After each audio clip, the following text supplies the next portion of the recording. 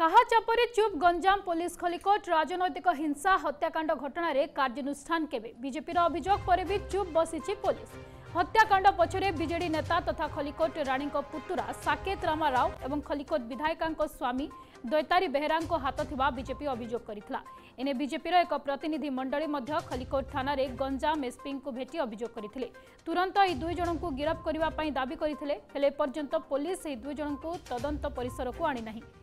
গতকাল এই হত্যাকাণ্ডকু নেই খলিকোট থানা রণক্ষেত্র পালটি পুলিশ এবং উত্ত্যক্ত লোকঙ্ মধ্যে খণ্ডযুদ্ধ দেখা মিলিলা লাঠি চালনা সহ পথর মাড় হয়ে বেড়ে পুলিশ এবং সাধারণ লোক আহত হয়েছে প্রশ্ন উঠুছি পুলিশ কাহকু সুরক্ষা দেওয়া চেষ্টা করুছি